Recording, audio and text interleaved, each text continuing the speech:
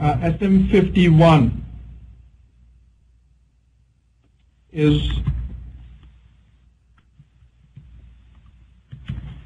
list of application servers. Very, very important transaction, right? So it's listing the application servers, 00 and 02 in this case. They're both running on Saraswati, right? So that's why it's saying hostname Saraswati. It also tells, here you can figure out which one is the CI by looking at the word NQ in this list. Wherever you see NQ, it's not a full list anyhow, right? Because you don't see message server, even though message server is running there. It's, it's just a hard-coded message, right? But so what you need to focus on is NQ. Um,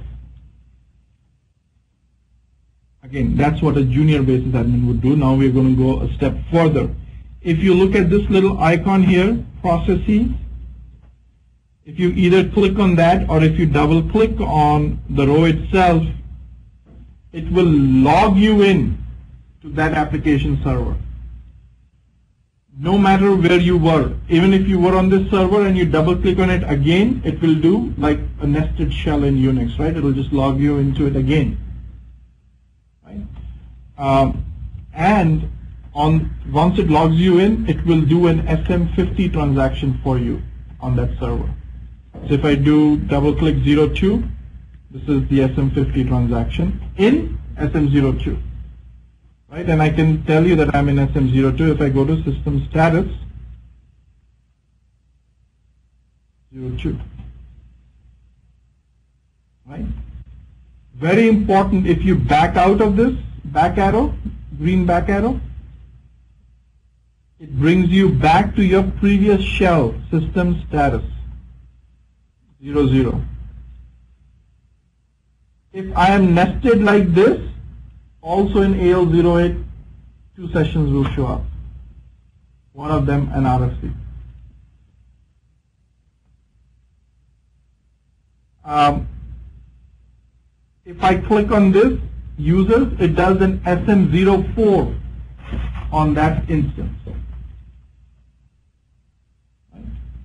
So if I did 02 and users, it went ahead and did an SM04 on 02.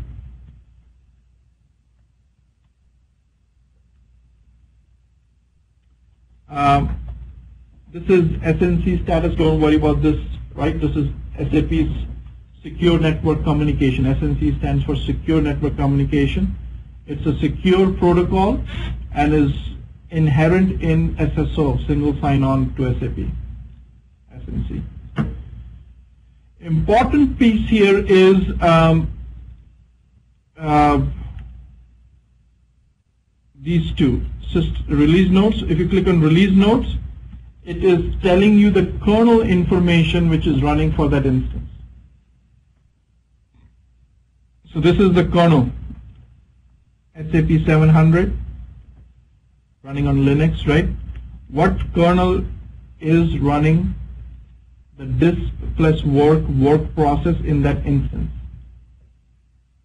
And if you scroll down, it it has got the patch list, all the patches which have been applied, right? As the kernel has been upgraded, right? So if somehow you have a doubt that you know, am I running the same kernel, right? Kernel patch number 75. Sometimes, you know, if you forgot or missed on the other guy, you can check. Right? Hopefully it's 75, 75 on both of them, right? That's the release notes. Kernel information. The log is the system log for that particular instance. And we're going to talk about system log separately. Very important transaction of SM21 is the transaction system log, right? SM21.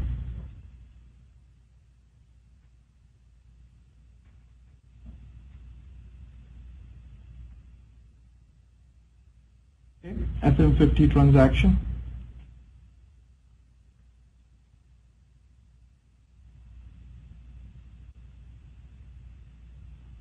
Sorry, SM51, we looked at SM50 also in the process of doing so. Um,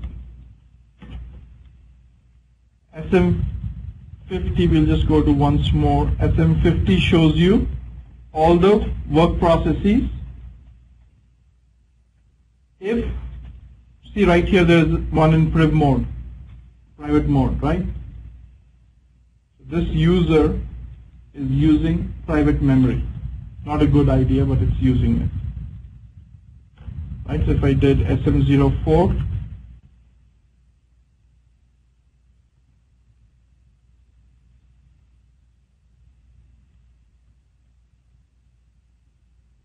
see it here, Shishya, right? Is it Shishya?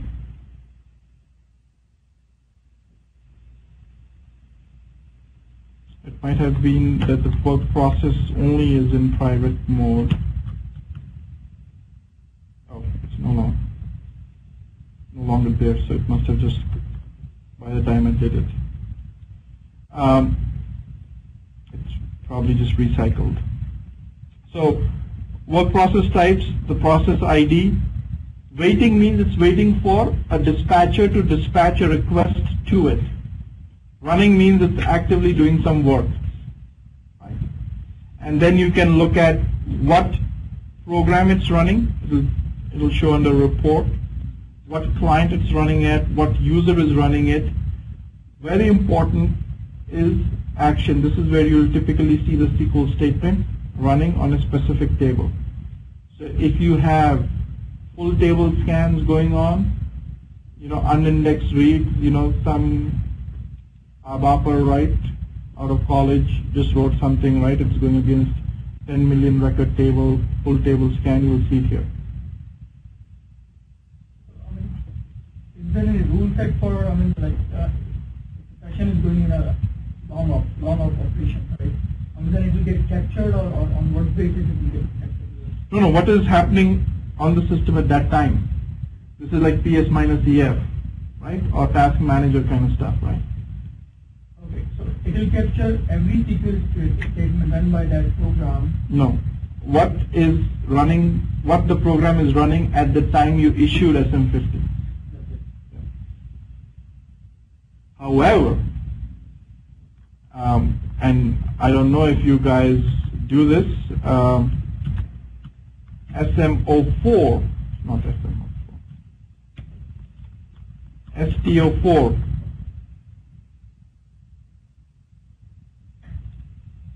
you guys do this, right? Here you can look at this SQL cache,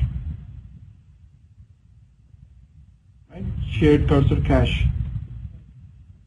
And here you can start looking at, you know, what is in the cursor cache and start ex- figuring out what are the expensive SQL statements. So whatever SQL statement we are getting via SM50, it, it, it's just an indication that this is a SQL statement. Nowhere related to performance. No, but if you do SM50 and you're refreshing it, and that statement is still sitting there, yeah, yeah, I mean it could be genuinely, you know, long-running process. Uh, but if you see it sit there, and then you basically double-click on it, you look at it, you put it in explain plan, and you see the cost from the CBO is very high, and you know this thing is just crunching through it. It's against the Z, it's a Z program going against the Z table, right? You know, uh, coming out of Infosys in India, right? You go after it right there. uh, so SM50.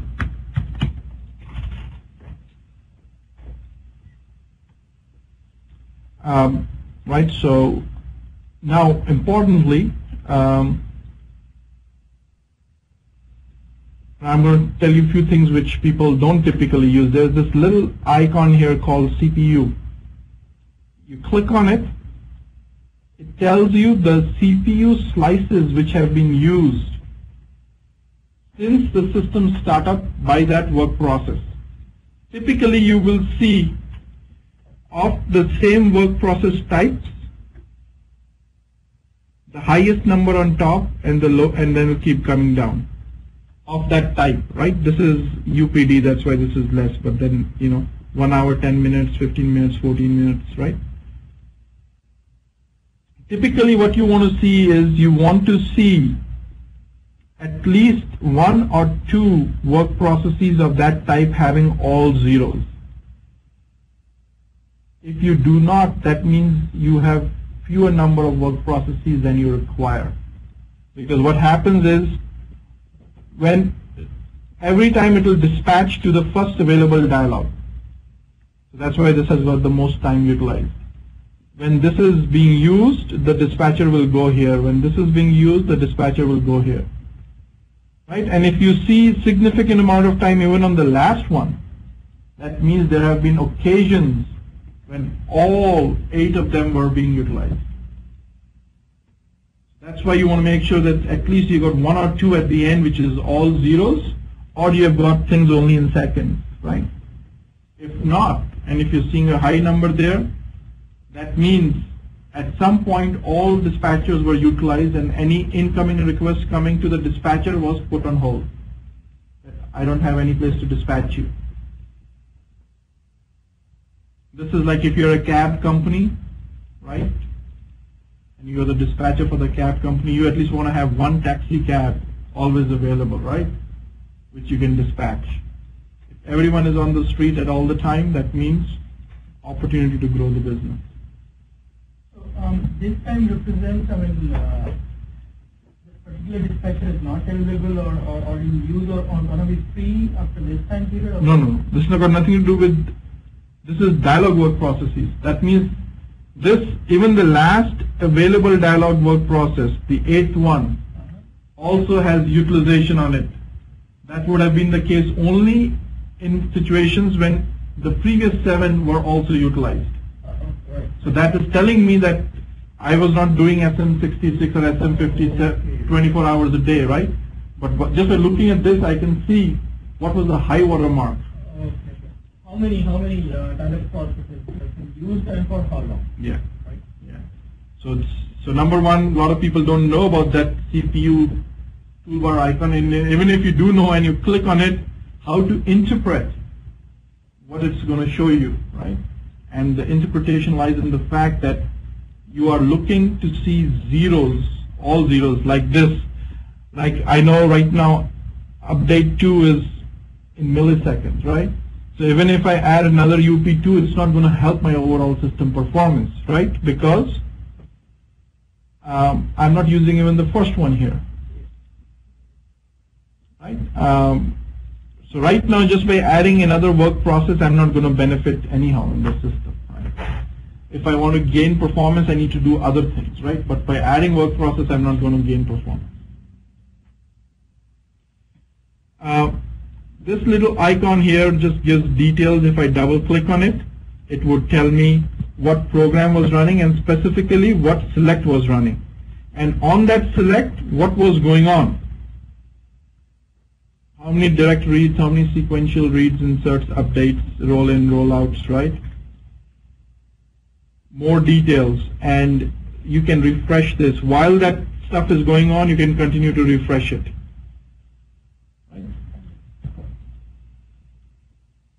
To get more insight into it. Also, you can look at the log. Very important. Log of that work process. When you click on it, you can look at the log of that work process. Sometimes SAP will ask you to provide this if you are getting some unexplained situation or errors, right? Also, a good basis admin would typically come in here to look at the log in detail.